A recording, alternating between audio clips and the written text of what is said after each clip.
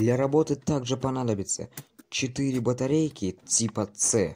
А теперь распакуем эту пушку. Мушка.